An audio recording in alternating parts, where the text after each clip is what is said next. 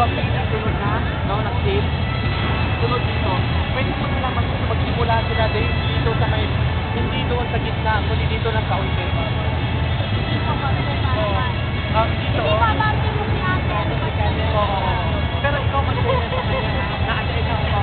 Ako lang si Babansi. Diba kayo sumabot ang pag-init ko? Dito lang, oh. Kung saan nakaupos lang sa pencil, yan